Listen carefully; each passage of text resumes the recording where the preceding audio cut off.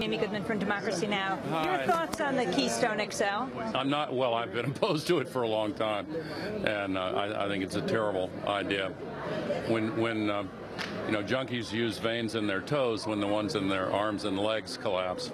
That's my view of it. But Have you uh, I'm- made your recommendations clear to President Obama? of course, yeah, of course. And do you know but which I'm way not, he'll go on it? What's that? Do you know which way he'll go on it? No, I don't. But if what do you I, think? It would, go ahead.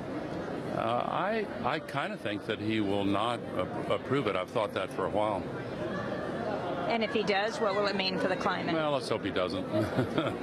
what would it mean for the climate if it were approved? Well, it would mean uh, a large new supply of very high carbon energy, of course, so it's a bad idea.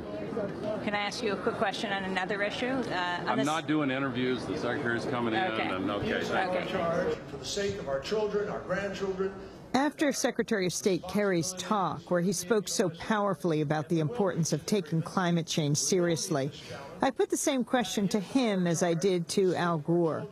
Kerry looked over, but he didn't respond. in a press conference. I'm sorry. I just want to get a little. Uh, that's perfectly fine. Totally understand. Secretary but I'm sorry, Kerry, Keystone XL, Thank you very much. your view on it? Thank you very much. So I caught up with the man who introduced John Kerry, U.S. Chief Climate Negotiator Todd Stern. Mr. Stern, Keystone XL, your thoughts oh, on it? Sorry. No thoughts I'm sorry. right now. Excuse Thanks me. very much. Sorry.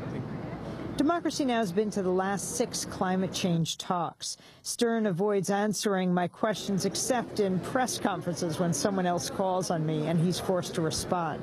I still put the same question to him as I did to Kerry and Vice President Gore.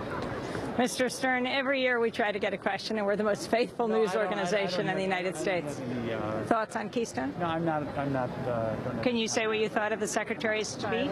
thought it was great. Excellent speech.